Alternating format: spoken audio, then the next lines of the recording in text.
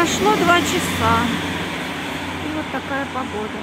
Ой, а на море говорят шторм, огромные волны. Ну, сейчас поеду по дороге.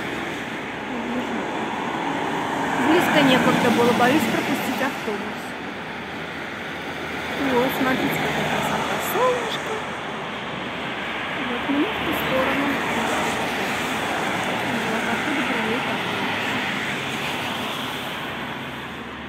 Так быстро меняется погода в Абхазии. Там вон снег.